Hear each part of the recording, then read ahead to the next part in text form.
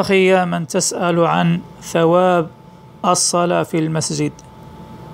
استمع لهذه الأحاديث الصحيحة العظيمة التي تسعد القلوب. اولا يقول الله تعالى في القرآن الكريم إنما يعمر مساجد الله من آمن بالله واليوم الآخر. من علامات الإيمان للإنسان أن يصلي في المسجد. فإذا كان الإنسان يصلي في المسجد فهذا مؤمن بشهادة القرآن. يقول النبي عليه الصلاة والسلام اسمعوا لهذا الحديث العظيم يا إخوتي في الله من غدا إلى المسجد أو راح أعد الله له في الجنة نزلا كلما غدا أو راح. رواه البخاري ومسلم. يعني كل ما مشيت للمسجد تصلي في أي صلاة. مشيت في الفجر مشيت في الظهر مشيت في العصر مشيت في المغرب مشيت في العشاء أي صلاة أديتها في المسجد فالله تعالى يجهز لك ضيافة في الجنة. ضيافة من ملك الملوك. لو قيل لك في هذه الدنيا إن ملكا من ملوك الدنيا يريد أن يعزمك إلى قصره. ويعمل لك وحزردة عظيمة. كيف سيكون حالك؟ والله ستطير فرحا. ستسعد كثيرا. مالك من ملوك الدنيا يعزمني إلى قصره ويعمل لي الزردة والضيافة شيء عظيم. هذا ملك من ملوك الدنيا مخلوق وعبد. فكيف بملك الملوك؟ عندما تذهب إلى مسجده وبيته وتصلي له يجهز لك ضيافة في الجنة. ضيافة ضيافة أكرم الأكرمين. في كل صلاة تصليها في المسجد يجهز لك الله سبحانه وتعالى ضيافة في الجنة. تبقى تنتظرك ليوم لقائه. أعيد الحديث العظيم. يقول النبي صلى الله عليه وسلم من غدا إلى المسجد أو راح أعد الله له في الجنة نزلا كلما غدا أو راح. يعني الذي يصلي في المسجد مبشر بالجنة. بهذا الحديث العظيم الذي رواه البخاري ومسلم. ويقول الله تعالى في الحديث القدسي اسمعوا لهذا الحديث العظيم. يقول الله تعالى يوم القيامة. أين جيراني؟ أين جيراني؟ فتتعجب الملائكة فتقول يا رب ومن ينبغي أن يجاورك؟ أنت ملك الملوك اشكن هالسعداء الذين سيكونون جيرانك وأهلك. فيقول الله تعالى أين عمار المساجد؟ يعني أين الذين كانوا يصلون في المساجد في الدنيا؟ فيجعلهم الله في ضيافته ودار كرامته. رواه الحافظ الغزي والألباني في السلسلة الصحيحة حديث عظيم. إخوتي في الله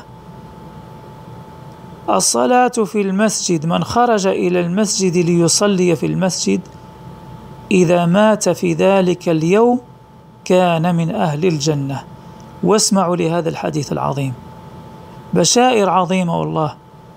خرجت إلى المسجد لتصلي فيه فمت في ذلك اليوم فأنت من أهل الجنة.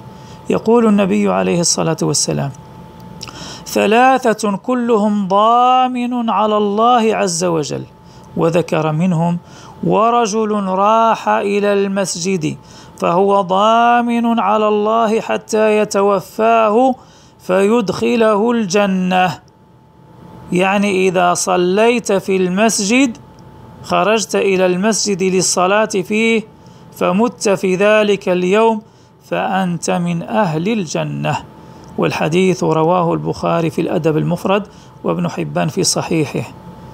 ويقول صلى الله عليه وسلم هذه البشارة أيضا بشارة لأهل المساجد.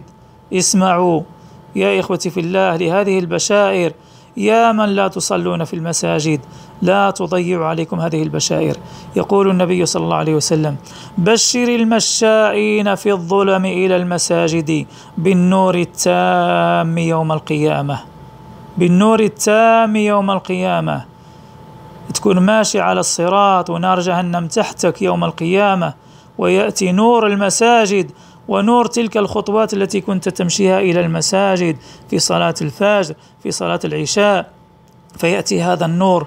في فييسر لك الطريق إلى الجنة وأنت فوق الصراط والناس تتساقط في نار جهنم في ذلك الهول العظيم وأنت معك نور من أمامك ومن خلفك وعن يمينك وعن يسارك تمشي فيه حتى تصل إلى الجنة. بشر المشائين في الظلم إلى المساجد بالنور التام يوم القيامة. اسمع للبشارة الأخرى لمن يصلي في المسجد. يقول النبي صلى الله عليه وسلم من مشى إلى صلاة مكتوبة في جماعة من مشى إلى صلاة مكتوبة في الجماعة يعني في المسجد فهي كحجة فهي كحجة. والحديث رواه أبو داود والطبراني والألباني في صحيح الجامع. يعني كل صلاة تؤديها في المسجد ثوابها لك عند الله كحجة كأنك حججت. كأنك حججت سافرت إلى بيت الله الحرام بمكة المكرمة وأديت مناسك الحج. صلاة واحدة تصليها في المسجد يكتب لك بها ثواب حجة. ثواب حج بلا مشقة ولا تعب. وروي عنه صلى الله عليه وسلم من خرج من بيته متطهرا يعني متوضئا إلى صلاة مكتوبة يعني إلى المسجد يؤديها في المسجد فأجره كأجر الحاج المحرم كأنك حاج حججت حججت بيت الله الحرام. رواه أحمد وأبو داود والألباني في صحيح الترغيب. واسمعوا لهذه البشارة الأخرى أيضا لأهل المساجد الذين يصلون في المساجد.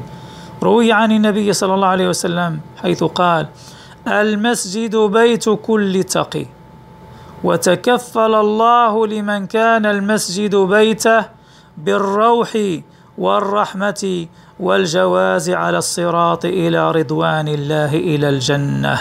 رواه الطبراني والبيهقي والألباني في صحيح الترغيب. هذا الحديث العظيم يوضح ويبين أن أهل المساجد الذين يصلون في المساجد يوم القيامة عندما يمرون على الصراط القنطرة التي فوق نار جهنم خطيرة جدا.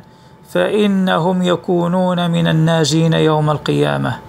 لأن الله تعالى يقول لأن النبي صلى الله عليه وسلم يقول في هذا الحديث وتكفل الله لمن كان المسجد بيته. يعني كان يصلي فيه بالروح والرحمة والجواز على الصراط إلى رضوان الله إلى الجنة. يعني مش تقوز فوق جهنم بأمان وسلام لن تسقط فيها. سيثبت الله قدميك التي كانت تمشي إلى المساجد في الدنيا وتصلي في المساجد. حديث عظيم يا إخوتي في الله. حديث عظيم. واسمعوا لهذه البشارة أيضا. بشارة عظيمة لأهل المساجد. اسمع. روي في الأثر. ثلاثة يضحك الله إليهم. الله يستبشر بك. ويفرح بك. إلى ثلاثة الله سبحانه وتعالى يضحك ويستبشر ويفرح بثلاثة.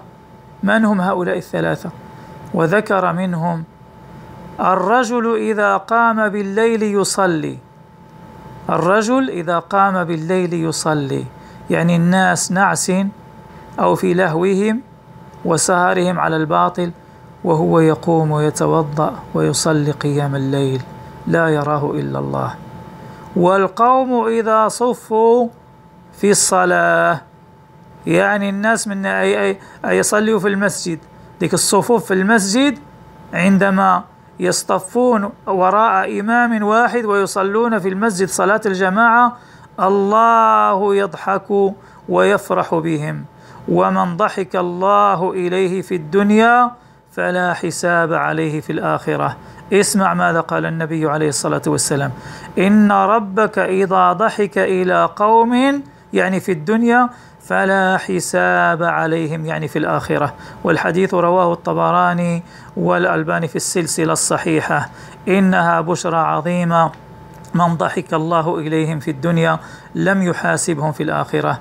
ومن هم الذين يضحك الله إليهم ويفرح بهم في الدنيا؟